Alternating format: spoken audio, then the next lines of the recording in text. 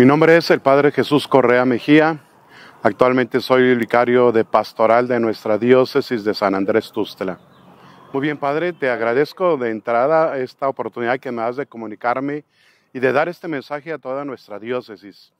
Eh, a partir del 11, 12 y 13 de octubre estaremos realizando aquí en esta casa llamada Villa del Carmen nuestro Consejo Diocesano de Pastoral. Este consejo se realiza cada año, en este mes de octubre precisamente, y en esta ocasión tenemos un lema que nos llama mucho la atención. El lema que vamos a utilizar para esta ocasión es discípulos misioneros en camino sinodal. ¿Cuál es el objetivo de este Consejo Diocesano Pastoral?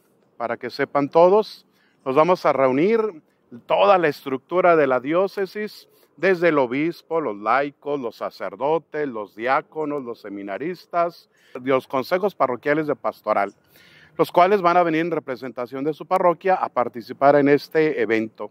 La finalidad que queremos conseguir es eh, leer una vez más el marco de la realidad y leer el marco doctrinal para juntos poder obtener el diagnóstico pastoral y así poder de una manera atinada, de una manera consensuada también, responder a las necesidades que tiene nuestra diócesis. Es por eso que este... Por supuesto, nuestro señor obispo, como el tutelar de esta diócesis, como la cabeza, como nuestro padre, como nuestro pastor. Estamos también convocados los eh, eh, los moderadores de cada consejo parroquial de pastoral. Estamos convocados los sacerdotes, presidentes de comisiones y responsables de dimensiones. Y por supuesto también los sacerdotes que son cabeza de las comisiones diocesanas. Hemos convocado a tres diáconos permanentes, tres diáconos transitorios, a los seminaristas en inserción y a los alumnos de tercero y cuarto año de teología de nuestro seminario mayor. Por supuesto, la vida consagrada también juega un papel importante en este consejo y se han convocado a tres religiosas que van a representar a todas las comunidades religiosas de nuestra diócesis a participar en este acontecimiento. Por lo tanto, queridos fieles, queridos hermanos que nos escuchan y que nos ven por este medio, Conexión Vital Radio. Eh, nuestra iglesia diocesana está en un ambiente festivo, en un ambiente de alegría, por la expectativa que tenemos sobre este consejo. Este momento va a ser crucial para nuestra actualización del sexto plan diocesano de pastoral.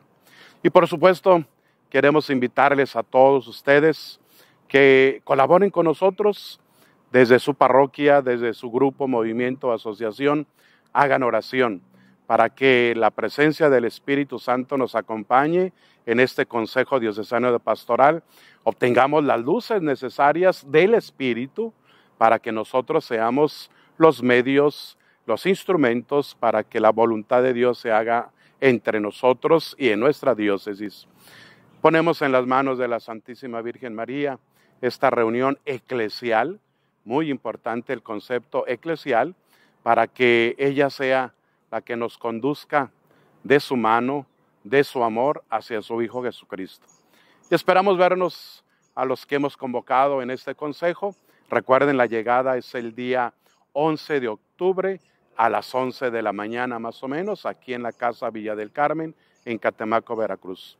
Ojalá que el Señor y la oración de ustedes sea el instrumento para encontrar caminos y hacer más operativa nuestra pastoral y cumplir con las metas y deseos de nuestro obispo, que a su vez él las ha escuchado del Papa Francisco, ahora que fue al curso de obispos a Roma.